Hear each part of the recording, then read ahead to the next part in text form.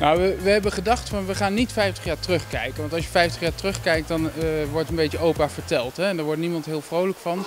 Dus we hebben ge- gezegd, we moeten juist vooruit gaan kijken. En wat is dan leuker dat je halverwege een eeuw staat. En dat we vooral kijken van waar komen we in 2065 terecht.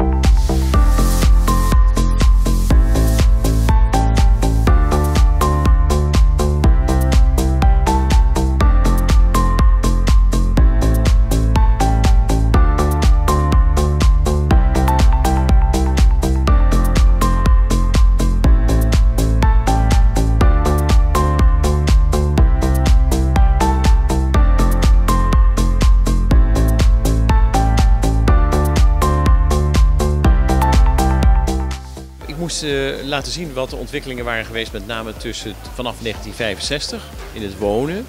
En een perspectief geven op 2065. Nou, dat laatste is natuurlijk heel erg moeilijk, want dat is nog 50 jaar ver. Eh, maar ik heb wel pro- proberen te laten zien welke ontwikkelingen je kunt zien in het wonen, welke constante factoren daarin zitten. En wat misschien voor de toekomst dan eh, zou kunnen veranderen of juist hetzelfde blijven.